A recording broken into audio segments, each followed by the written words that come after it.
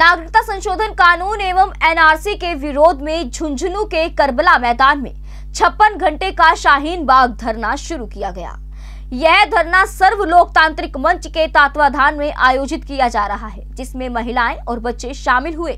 धरने पर बैठी महिलाएँ अगले छप्पन घंटे तक इसे जारी रखेंगी।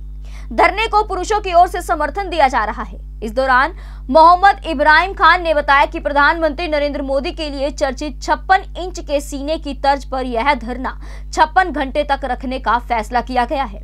उन्होंने धरने को संबोधित करते हुए सी और एनआरसी को संविधान की मूल भावना के खिलाफ बताया है। शाहीन बाग दिल्ली कमेटी की शबीना खान ने कहा कि मुल्क एवं संविधान के खिलाफ होने वाले हर काम का विरोध किया जाएगा।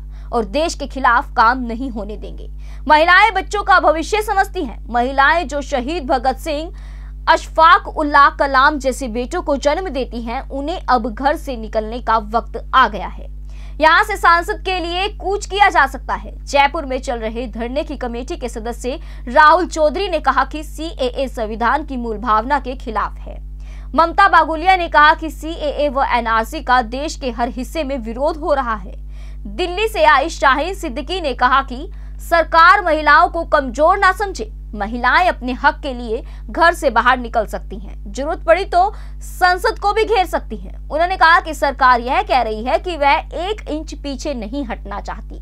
महिलाएँ आगे बढ़ी तो सरकार को कई मीटर पीछे हटना पड़ सकता है। का शाहीन बाग है, ये शुरू हो चुका है। और यहाँ हमारी, अभी आप देख रहे हैं कितनी बड़ी संख्या में माँ बहनें सुबह से इकट्ठा हो चुकी हैं। जो चीज़ ये दिखाती है कि हम लोग सब अपने अधिकारों को लेकर कितने सजग हैं और हम उनको ये बता कर रहेंगे कि जो C A N P R और एन आर सी जैसी चीज़ें हमारे ऊपर थोपना चाह रहे हैं, वो अपनी इस योजना में कभी कामयाब नहीं होंगे। प्रोग्राम की शुरुआत हमारी हो चुकी है और आगे तीन दिन ये बहुत कामयाबी से चलेगा और ये तब तक रहेगा जब तक कि उन लोगों हमारी आवाज़ नहीं पहुँच जाती जो हमारी आवाज़ को दबाने की कोशिश कर रहे हैं।